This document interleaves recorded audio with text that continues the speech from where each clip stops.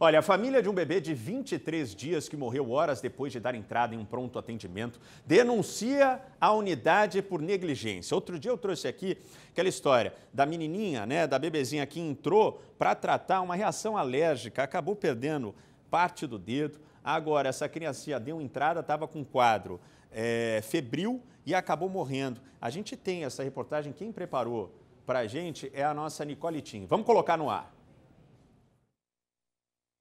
Esse caso aconteceu na última terça-feira. O pequeno Arthur, de apenas 23 dias de vida, teve uma febre no início da manhã e a mãe, por precaução, resolveu levar ele até um pronto atendimento infantil. Mas chegando lá, demorou para ser atendido cerca de uma hora para a criança ser atendida. E aí, quando foi medicado, toda essa situação começou a piorar. Eu estou aqui com o Júlio César, que é pai do Arthur. Júlio, o que, que aconteceu a partir daí?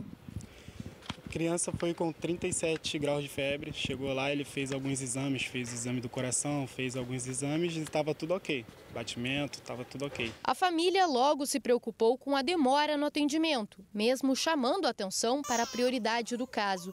O bebê foi medicado, só que acabou piorando. O recém-nascido então foi transferido para a UTI neonatal do Pronto Baby da Tijuca, na zona norte da cidade mas horas depois faleceu. Isso do medicamento, esse susto, foi uma e pouca da tarde.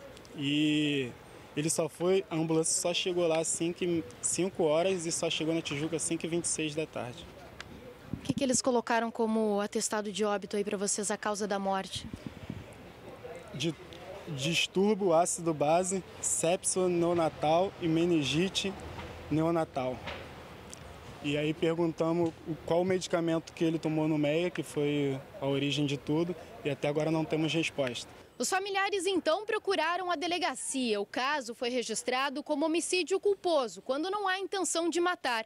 Mas a polícia investiga se houve erro médico e uma possível omissão de socorro. Nos próximos dias, os agentes devem ouvir os responsáveis pelo atendimento, os familiares do bebê e outras testemunhas. Eles falaram que em 20 dias sairia, depois fizemos uma pressão, fez assinar um termo de urgência, passou para 10 dias. E até agora a gente ainda não sabe o que, a enfermeira deu, qual o nome da enfermeira, sabemos mais nada ainda. Os agentes também solicitaram os boletins de atendimento médico e imagens de câmeras de segurança das unidades de saúde. Em nota, o grupo Pronto Baby afirmou que Arthur chegou na unidade com sinais de infecção e que foi prontamente atendido com antibióticos. O grupo ainda afirma que os exames constataram um quadro de sepse neonatal, ou seja, infecção generalizada, e meningite, que teriam levado à rápida e aguda evolução do quadro de infecção. Estou atrás de justiça pela mãe do Arthur pelo que ela sofreu. Ela só quer ser mãe, coitada. Obrigado, Nicole, pelas suas informações.